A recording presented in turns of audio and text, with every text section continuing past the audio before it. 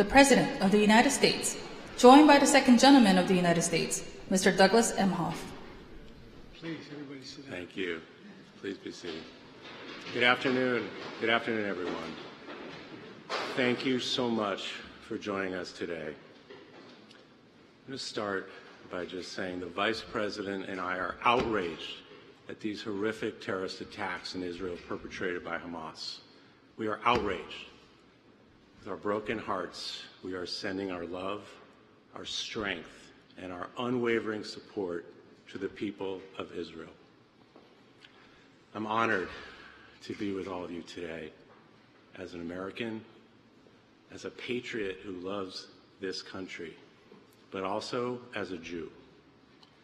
And like all Jews, I feel a deep, visceral connection to Israel and its people. We witnessed a mass murder of innocent civilians. It was a terrorist assault. There is never any justification for terrorism. There are no two sides to this issue. The images that we saw will be seared in our brains forever. Rockets falling on cities, people dragged from their homes and shot dead, children sheltering from bullets, bodies lining the streets. And all the while, we see videos of these terrorists cheering on these atrocities. The toll on Israel and the Jewish community is hard to imagine, but we can't imagine it because it's happening. And I know many of you have sent texts and calls this weekend checking on loved ones.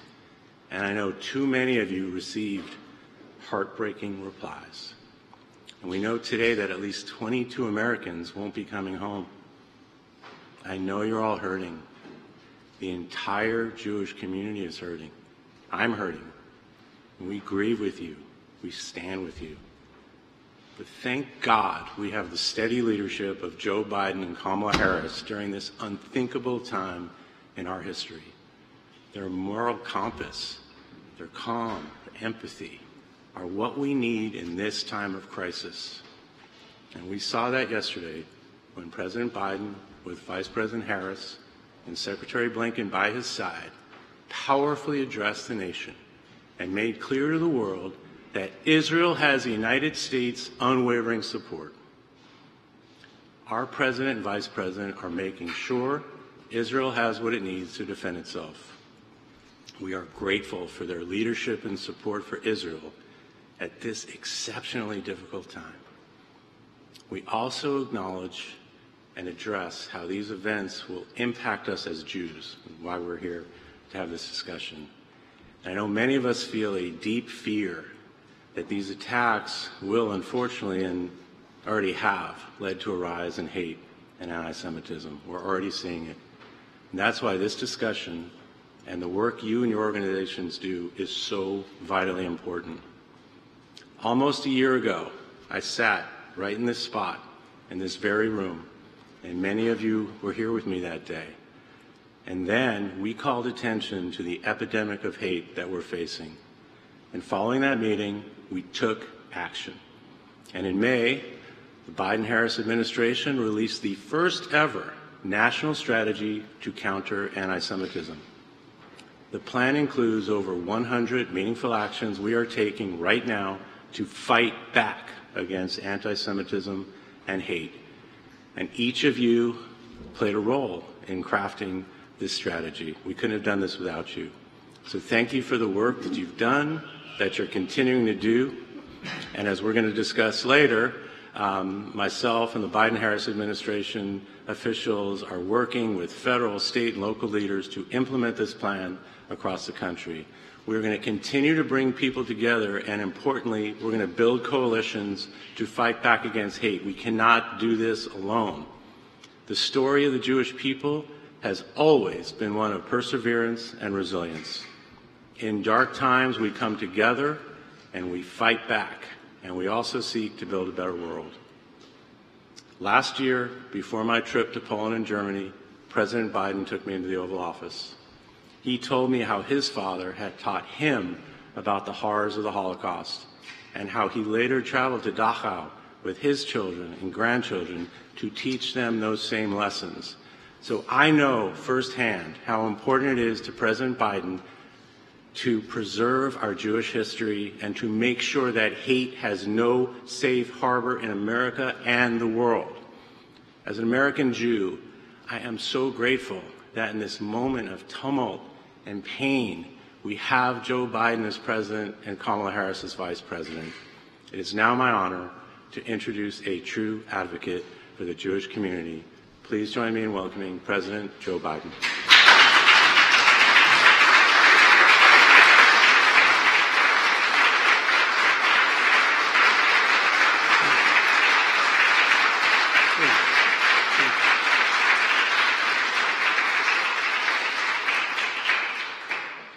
Folks, uh, I came first of all to say thank you. Thank you to all of you in this room.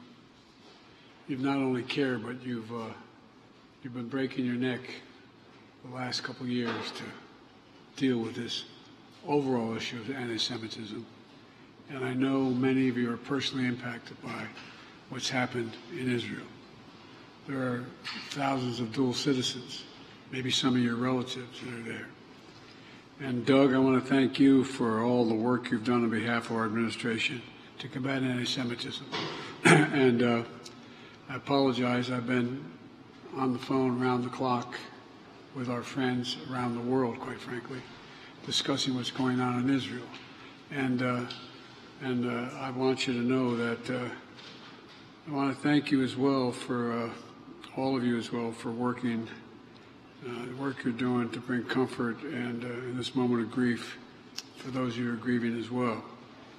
And, uh, and you'll read this weekend in synagogue, the Torah teaches us that God made stars to, quote, give light on the earth and separate light from darkness. Give light on the earth and separate light from darkness.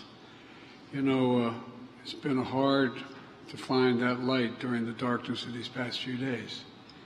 Uh, when terrorist groups like Hamas uh, brought not only terror but sheer evil, sheer evil to the world, evil that echoes the worst and matches, in some cases, exceeds the worst atrocities of ISIS. More than 1,000 civilians slaughtered in Israel. by the way, I've been speaking with a number of Israeli leaders, a number of leaders around the world, leaders in the region as well. And, uh, you know, uh, among those who have been victimized, this evil, who've been, who've been killed, are at least 22 American citizens. This attack uh, was uh, a campaign of pure cruelty, not, not just hate, but pure cruelty against the Jewish people. And I would argue it's the deadliest day for Jews since the Holocaust. The deadliest day since the Holocaust. One of the worst chapters in human history that remind us all that, that expression I learned from my dad early on silence is complicity. I'm not, I mean, silence is complicity. It really is. And I want you to know, I think you've already figured it out. I refuse to be silent. And I know you refuse to be silent as well.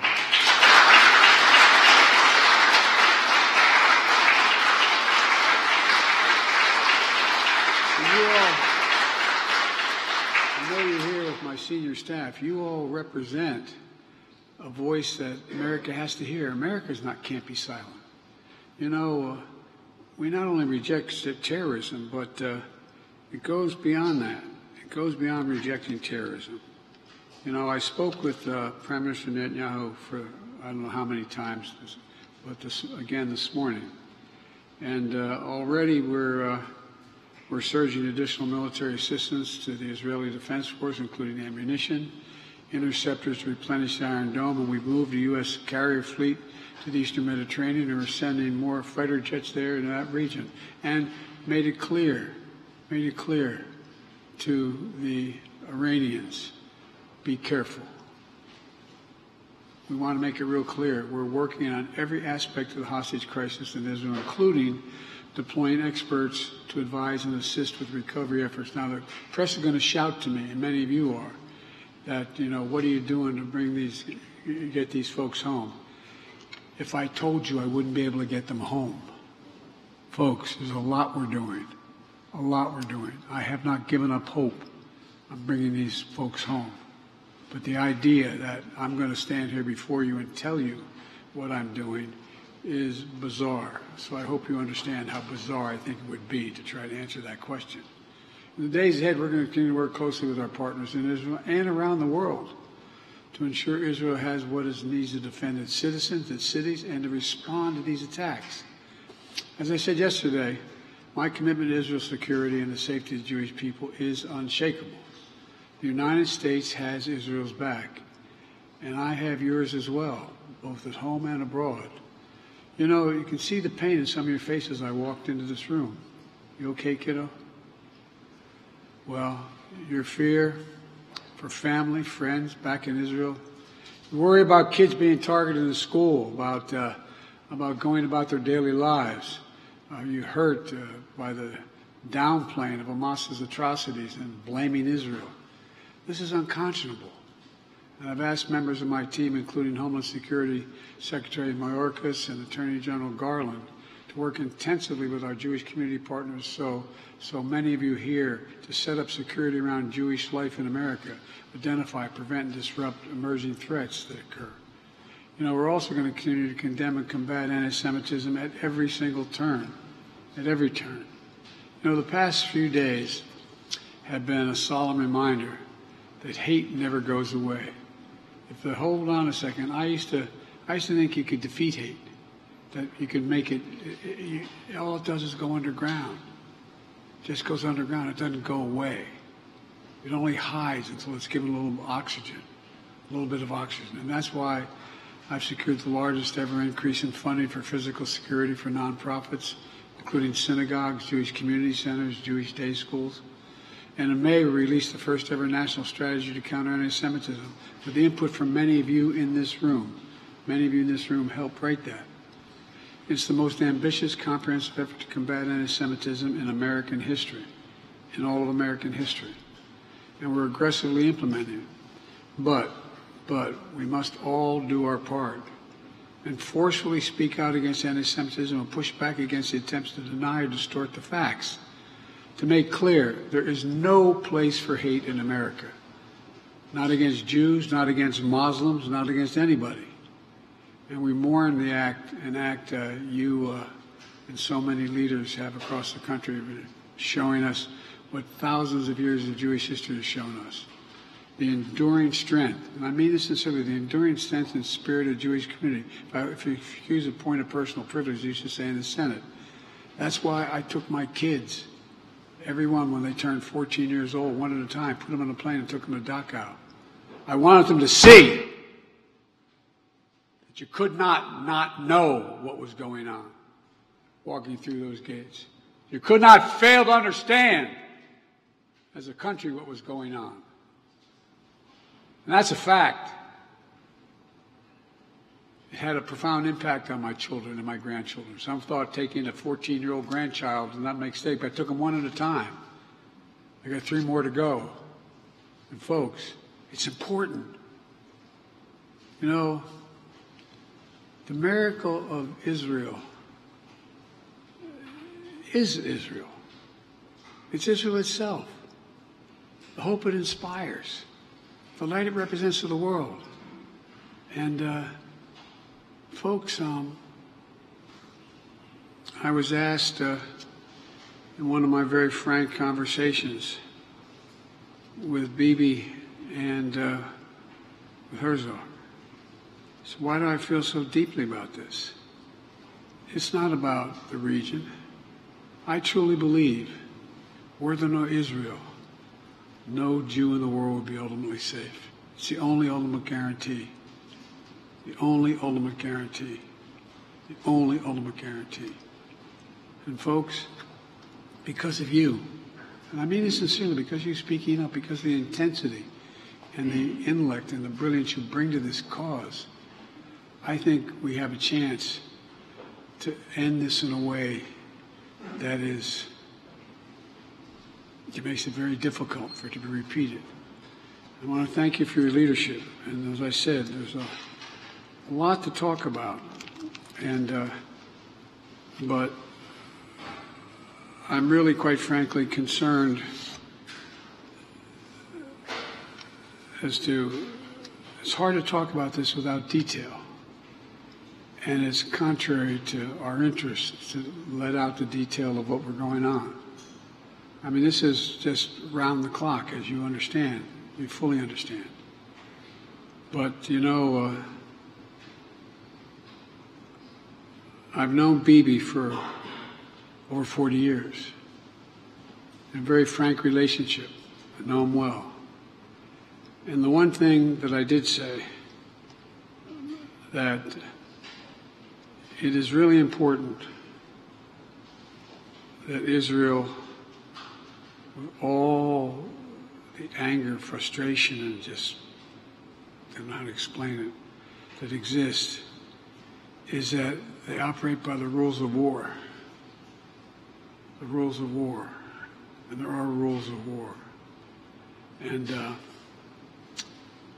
and I believe Israel is doing everything in its power to, uh, to pull the country together, stay on the same page, and we're going to do everything in our power to make sure Israel succeed and God willing to bring home those Americans who are in harm's way. I'm, I'm going to let you all have the private conversation you've been having, which you should continue to have. But uh, it just came to basically, I really mean it from the bottom of my heart. I give you my word as a Biden. Thank you. Thank you for the intensity of your support. It matters. It matters that Americans see what's happening. I mean, I, I, I've been doing this a long time. I never really thought that I would see and have confirmed pictures of terrorists beheading children. I never thought I'd ever. Anyway, I. Uh, but there are countries in the region are trying to be of some help, including Arab nations that are trying to be of some help. So, uh, anyway. Mr. President, where do you draw strength and inspiration in troubled times? From my faith. From my faith. My faith that, uh, that at the core of every human being is a spark of humanity and decency. It's got to be touched. It's got to be spoken to. That's what you do. That's why you're here. It's not about, you know, revenge. It's about, it's about decency. Just basically decent, just basic decency.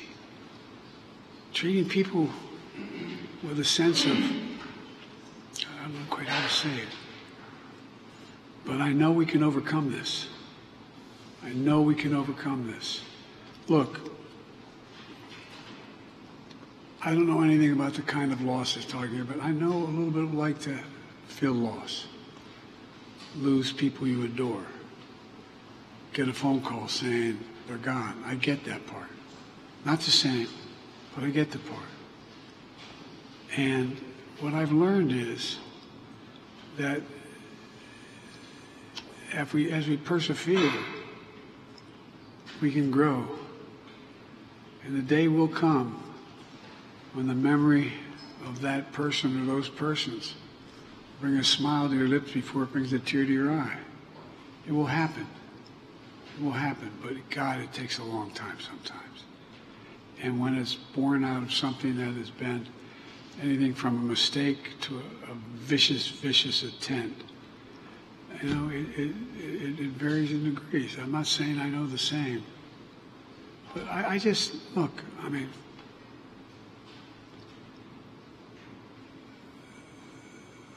I'll never forget, well, I won't go into that. Anyway, I, I, I just think that uh, if we stay true to our values, pursue with every inch and every bit of our energy to get this right, we can bury this again and bring people back.